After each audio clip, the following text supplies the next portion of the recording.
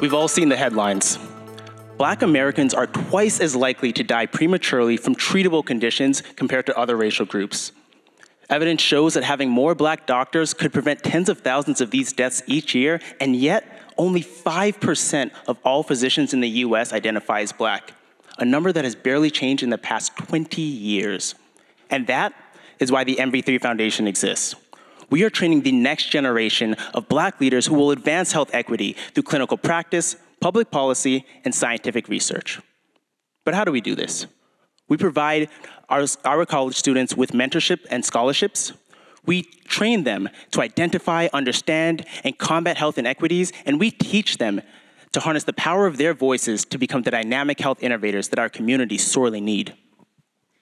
Our leadership team has over a decade of experience in the health, education, and nonprofit sectors. But perhaps most importantly, we understand through firsthand experience many of the challenges that our scholars currently face.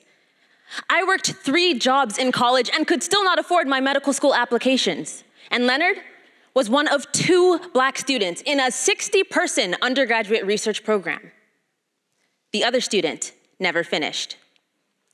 Next month, our inaugural cohort of 68 MV3 scholars across the country complete their first year with us, thanks to support from Amgen and United Health. By year five, we expect to have served over 500 students, and ultimately, with your help, we expect to become the nation's largest and most cohesive effort empowering future black leaders in health and biomedical science. Thank you.